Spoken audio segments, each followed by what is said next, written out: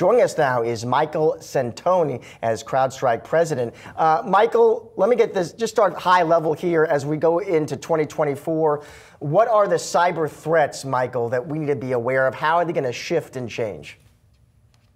Well, one of the big topics to talk about is uh, the impact of artificial intelligence. There's so much benefit to this technology. It gives us access to information. It gets it at our fingertips. So there's a huge speed advantage. But we also need to understand that those benefits also apply to people that want to do bad things. So we're seeing uh, adversaries get access to information. They're getting smarter.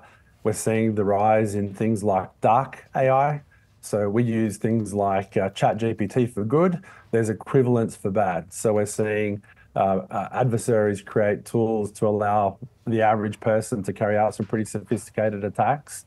And then that can flow into so many other parts of our life. Uh, we talk about the election. Uh, the ease of access to these tools means that you can have rampant spread of, of disinformation. Uh, it's a lot cheaper to do it. And that speed uh, advantage is something that we need to think about from an adversary perspective. It's a real problem. Uh, Michael, I mean, I mean, not to get too tinfoil hat then on us, right? But you heard the discussion we were just having with our Rick Newman. You know, if when we're talking about these two presidential candidates who are um, elderly, let's say, and one of them who's the subject of multiple different court battles, right? If something happens, the idea that that information could be um, you know, could be put out there in a fraudulent, incorrect way. What do you do about that? And how prepared are we uh, as a country and as a globe for that kind of thing? Well, I'm going to be the bearer of bad news. I mean, that sort of thing happens all the time. Right. And we see examples of misinformation all the time. I mean, I'm sure you, you, you've both seen that before. You wake up, and whether it's a politician, it's a celebrity, it's an athlete, there's something that they've had an injury, they've retired, uh, sad, horrible stories where people have passed away and they're not true. Uh, and obviously, when you think about the context of that uh, in relations to an election, that's obviously uh, very problematic. Uh, look, a lot of work goes in to try to lock these systems down. A lot of work goes in to try to get ahead of, people manipulating these algorithms or using these al- algorithms for uh, malicious purpose. Uh, and look, we're getting better as an industry. So we see, for example, the early use of generative AI was giving people access to information they shouldn't have. So the average person could work out uh, the, the formula for, for how to build a, a bomb or to, to get access to information they shouldn't just uh, naturally get.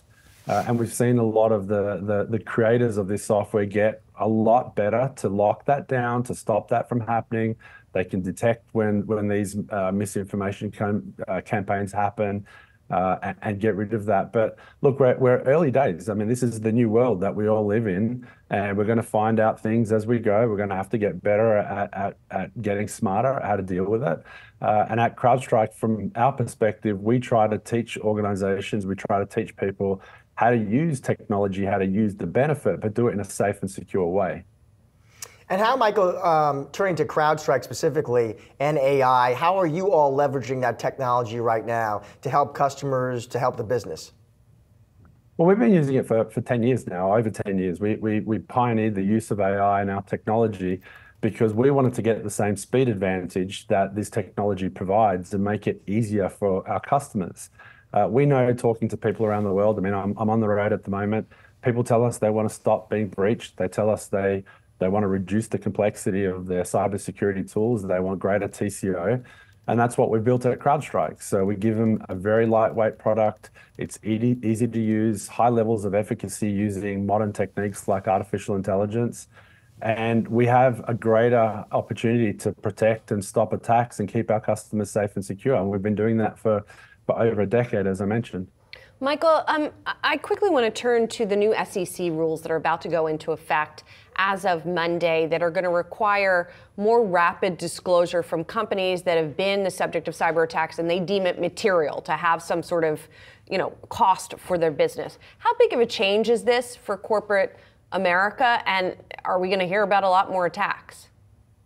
We've been hearing a lot about these sorts of regulations actually around the world. Uh, America is no different. There's a number of different, um, you know, uh, regulations that are in place. The SEC is asking organizations to, to help uh, provide better clarity, consistency, and timeliness with reporting of cyber attacks.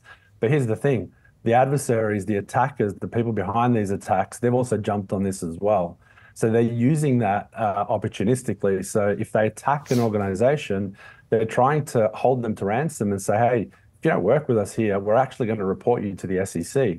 And we're actually seeing examples where attackers are compromising organizations. They're doing the reporting for you. So it, it's an interesting time. A lot of organizations are trying to work out how can they uh, find out fast enough? Uh, how can they report to the SEC? How can they get that information out to their shareholders? So, you know, a lot of organizations are reaching out to us, navigating the, the, new landscape, the new uh, regulations. They're asking us, how can we help them? And again, it's another example. We get instant visibility. We, can tell you what's running inside your environment. We can protect and stop the attack. Uh, we can help you understand how to report and how to be more compliant to these new uh, regulations. We do that for companies around the world. Just very quickly, is four days too short a window? Uh, look, you should be able to see very quickly what's going on, but it is a complex landscape. The bigger you are, the more systems you have, uh, the more operating systems that are constantly being uh, targeted and, and every day have vulnerabilities. It's hard. I do empathize. It's not an easy thing to do, but better visibility into what going on inside, what is going on inside your environment. It's a good thing. Michael Sentonas, thanks so much. Really interesting conversation. Appreciate it. Thank you.